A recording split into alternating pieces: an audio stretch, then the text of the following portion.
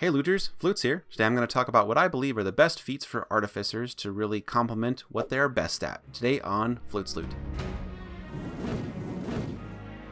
If you want to read this information instead of listening to the video, or if you want both, bookmark the article for yourself later if you're building an artificer, so you can reference it there. In other words, I already took the notes for you. So this video will be a little bit different from my other feats articles because I find the artificer already to be a very self-contained and versatile class, and so it doesn't necessarily need feats even, but feats can help it have some fun. I'm going to actually go by artificer subclass to give kind of a few builds of feats that I think would be helpful for you. I'll go through the Artificer subclasses in alphabetical order, starting with the Alchemist. I'm only going to recommend four feats because I find you're probably going to want some stat boosts from at least one of your ASIs. And beyond these feats, there's going to be some like split down the middle where you could pick one or the other, which you could pick both if you have enough feat slots, obviously. And if you're going to have more feats somehow, um, maybe you're a variant human, you can just pick something else that makes sense to you. Sounds fun. But yeah, my recommendations will just be four per subclass. The Alchemist is notorious for being supposedly the weakest Artificer subclass, but it has some cool concepts and there are some feats that can complement what it does. The first concept I invented for the Alchemist is the Experimental Support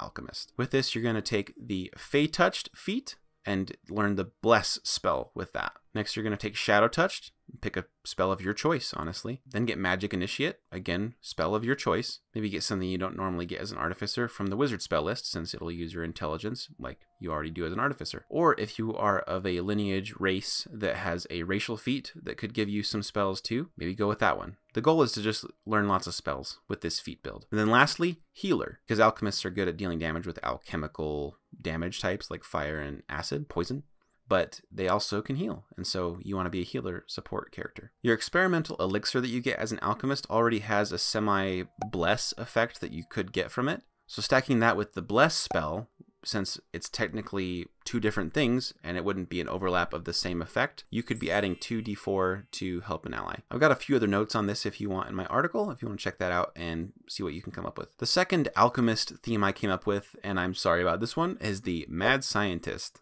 You'll see why I apologize. First, again, you get Fey Touched as a feat. You can choose either Bless, Gift of Alacrity, or Tasha's Hideous Laughter. And I say Tasha's Hideous Laughter specifically for this one because what is a mad scientist without some mad laughter going on? Next, take Metamagic Adept and choose Careful Spell or Distant Spell. Then the Elemental Adept feat with the Acid option. And then the Poisoner feat. Your goal with this feat build is to create poisons and acids to help your allies. You're going to coat not your own weapons in poison, but your allies, which the poisoner feat will allow you to do very quickly and efficiently. And then the main spell I want to concentrate on with this build is Tasha's Caustic Brew. I'm not saying this is optimal, but it sounds fun. Maybe I'm a little biased because I did play the Unearthed Arcana Artificer years ago, and one of the main things it did was just throw acid at people, so I guess I want to relive that with the official Artificer. Keep in mind that Tasha's Caustic Brew does take concentration, so spells like Bless or Tasha's Hideous Laughter, you might have them, but you need to be careful when you want to use them. From Fey Touched, I mean, if you remember me mentioning that. Your Alchemical Savant feature is going to boost the damage output of Tasha's Caustic Brew, once per casting at least. You can potentially rack up a lot of damage if enemies don't pass their dex save or they don't take an action later to cleanse themselves. Again, not an optimal option I would say, but if you've been playing D&D a long time like me, you might be hungry for some less than meta options, let's say. And again, use Poisoner as a bonus action to poison your allies' weapons so they just deal more damage, and then cast your support spells and whatever else you want to do. I think a lot of people think of the Poisoner feat as you poisoning your own weapons, so they say, oh, well, as a rogue, your bonus action's already busy or whatever, or you're an archer and so you already want crossbow expert so that you can do a bonus action attack. But if you're bonus actioning to poison other people's stuff, I'm sure they don't mind. The next subclass is the Armorer, which is admittedly a kind of weird subclass in D&D 5th edition. You get heavy armor and you can ignore the strength requirements, and so you can kind of be this armored juggernaut on the battlefield who's very smart and not beefy. You're also still an artificer, so you're only getting d8s of hit points, and so be careful. But here's the feats. This first one is for if you want to focus on the Guardian armor features, and then I'll do the Infiltrator armor next. Sentinel, Warcaster, Dual Wielder, Reserve Judgment. I have a reason. I know it's a bad feat. And then either Lucky or Resilient, choosing Dexterity, Wisdom. So the hit point issue is semi-solved by your subclass Defensive Field feature. So that's at least something, giving you some more survivability. The Sentinel feat is so you can use your Thunder Gauntlets to distract someone while they have disadvantage to hit you, but they also can't get away from you because you're going to Sentinel stop them in their tracks. You might say, well, they're going to attack me then. I was like, yeah, they'll have disadvantage and you have some temporary hit points, so it's not the end of the world. And I think you'll be okay. Warcaster enables you to cast Green Flame Blade as an opportunity attack. Why not Booming Blade? Because Sentinel's going to stop them from moving, and so it won't get all the extra damage it does, so might as well just switch it up. Lucky and Resilient are just there to help you survive, you little D8 juggernaut. Now, Dual Wielder. Usually a horrible choice, one of the worst feats, I think, not because it's the actual worst feat, but because it's also a trap that people choose, not knowing that it's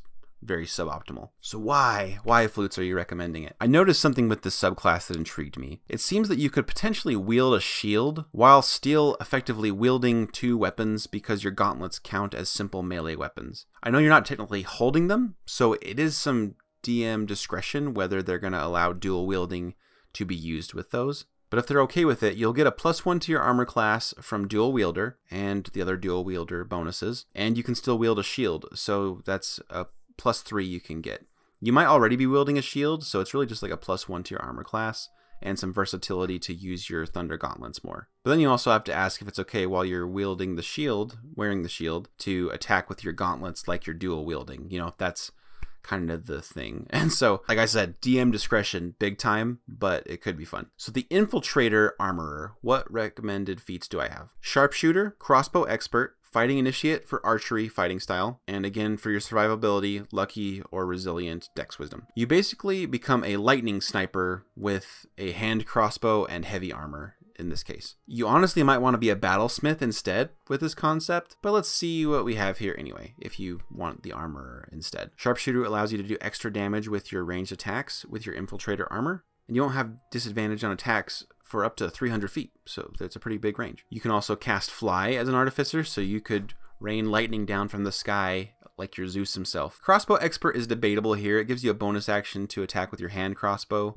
but you're not using your intelligence modifier for your hand crossbow in this case like a battlesmith could. The archery fighting style from Fighting Initiate is obviously helpful for sharpshooter, and that's about it. So infiltrator, you can have some fun as a lightning sniper, basically. I know that you could technically say it's best to get some of the feats that I recommended for the alchemist to get like uh, more spells from Fey Touched or Shadow Touched, and then you can boost your initiative or bless people and all that stuff. Absolutely, but I, I wanted to go over subclass specific ones and have some fun and see what they're capable of. Next is the artillerist subclass. I'm going to go over a general artillerist and then a pyromaniac artillerist. The artillerist is, again, a pretty self-sustained subclass. I'd, say it's second to the battlesmith, debatably better, just based on your playstyle. So my feat recommendations are going to supplement what the artillerist already does well. And the artillerist does synergize with the base artificer in that it helps with healing or damage, which the artificer can definitely use some synergy for. So the general artillerist, Fey touched to get gift of alacrity, resilient, dex and wisdom again. Maybe that's the best one. Alert,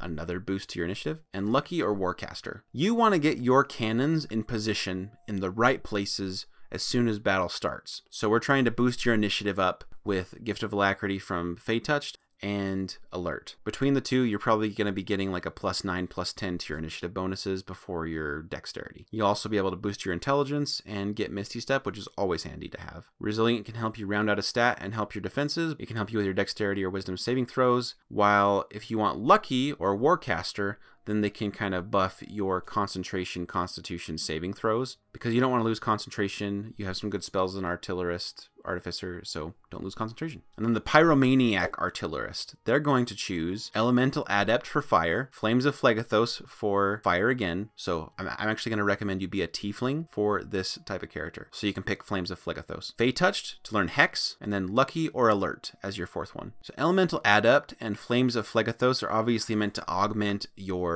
fire damage and allow you to overcome fire damage resistances from monsters.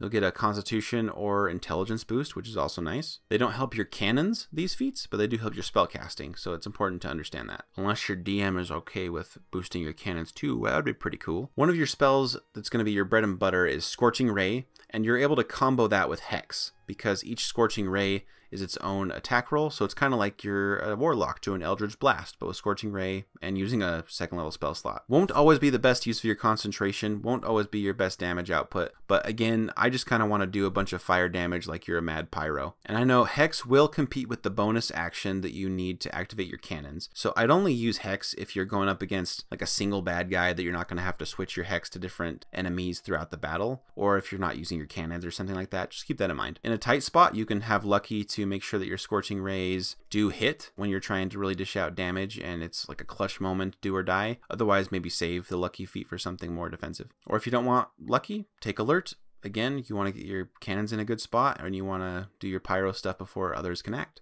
Lastly is the Battlesmith Artificer. This subclass makes waves because it allows you to use intelligence for attack rolls with all your martial weapons and everything. You're basically able to do what fighters can do, so you're able to do what some low level martial classes can do. You get extra attack, but you don't have to invest in strength or dex if you don't want to, because you can just do intelligence. As long as you're attacking with a magic weapon, I should clarify that. But you have Artificer infusions, so you can make weapons magic. So first, if you want to build a ranged attacking battlesmith, crossbow expert and sharpshooter, of course, fighting initiate archery, and alert or lucky resilient if you want some more defensive options. This is pretty straightforward. You can deal a lot of damage with crossbow expert and sharpshooter and it's ranged so it's better than melee as you don't have to run after people. If enemies get close, you can use your reaction to deflect attacks and your Steel Defender can help you out. So you also have this little Steel Defender, and you mentioned that, big hulking metal pet of yours that is getting in the way of anyone trying to rush you as an archer that you are. The other type of Battlesmith is a melee one. This goes with the other tried and true combo of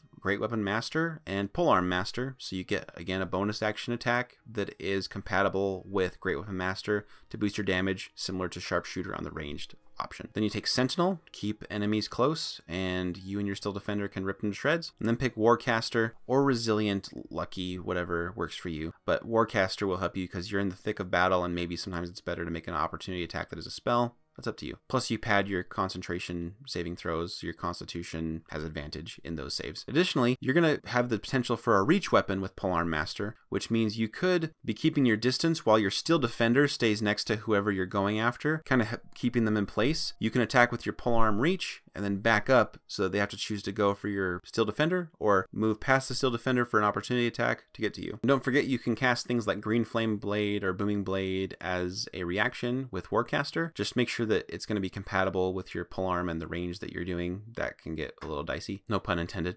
And again, you might take Green Flame Blade because you are taking Sentinel. You might not actually allow people to move away from you. So there you go. So those are my top choices for some subclass specific feats for Artificers. I know there's a lot of redundancies. Basically, a lot of feats have really risen to the top. If you're going Martial, it's often best to go for a build that uses Great Weapon Master, Polearm Master, or a ranged option of Crossbow Expert and Sharpshooter. And the ranged option is typically better. Dungeons and Dragons, things fly around, and melee can't always get to them. And then a lot of spell casting feats and initiative based feats or padding your saving throws and concentration type feats. Those are really the lessons to learn when you're picking feats in D&D 5th edition is there's some niche ones that you could pick, but those ones I just kind of listed off just now are often the best ones to consider with whether you're a spellcaster or a martial class. Just keep that in mind. It'll help you sort through your own feat selections in the future. All you artificers out there, while you're tinkering, make sure that you take time to subscribe on our channel so that you always know when we have a video coming out, me and Opal, my wife. And please make sure to comment down below if you like these feat recommendations or if you would twist them a little bit. I won't take anything personally. It's a very subjective topic, and so I'm just open to inspire someone or help them narrow down their choices. Y'all have a good adventure this weekend, and I will see you in the next video. Bye.